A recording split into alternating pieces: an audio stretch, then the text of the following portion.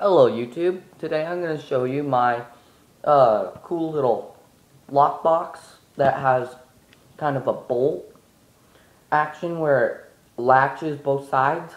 So I'm grabbing onto this right here. It's not coming off, okay?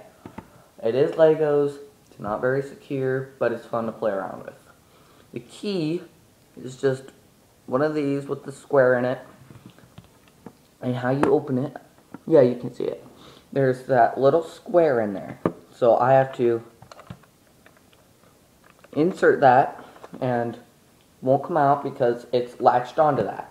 Okay, but it still won't come off until you just turn it. Now this has 180 degrees of motion. See? So, unlocked locked, unlocked. Okay? So, take the key off, lid comes off. Showing you the mechanism, when you're when the key is inserted, inserted, you have unlock, lock, unlock.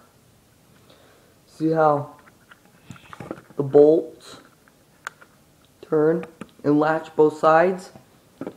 Now, looking at the lid, you have, I've got these two big squares that are hollow, and that's where these latches come in, go into, to latch the box. As I said, this is Legos, so it's not going to be very secure, but it's just fun to play around with.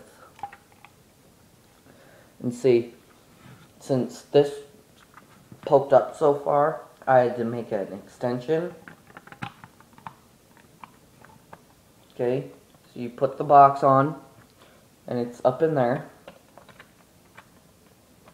So, you go lock, take the thing off, lock. I think the thing just broke. The chain thing broke. Yep. That's how easy it is to break it off. I'll show you real quick. It's not that hard to put back together, but... Okay, so lock. This is how easy it is to break in. Okay, why the heck is that moving around so much? It didn't before. There we go. It on. Lock it up. Nice and locked. Okay, it's nice and locked. This is how easy it is to break in. And that's how stinking easy it is. All it does is pull these out and how it latches to the wheel in here. See? Okay, so I'll show you how easy it is to put it back together. I wouldn't suggest this kind of uh, lock to someone that is trying to keep something really safe. But I'm pretty sure a criminal really wouldn't think of looking inside a Lego box for stuff, but I don't know. I mean, I don't suggest this kind of uh, latch to someone that's trying to keep something really valuable safe. If you have something really valuable, don't put it in Legos, period. Um, I'm just, uh, put it in a real safe.